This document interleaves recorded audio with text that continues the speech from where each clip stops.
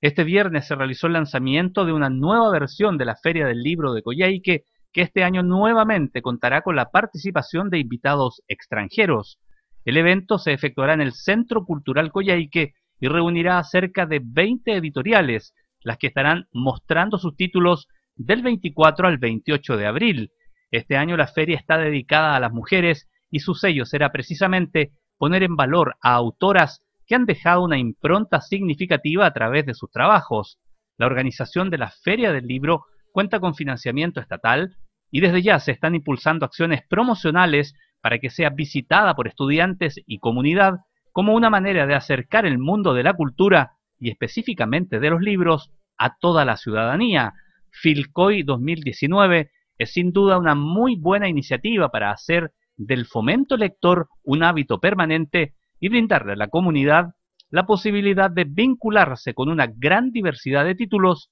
precisamente en el mes del libro y la lectura.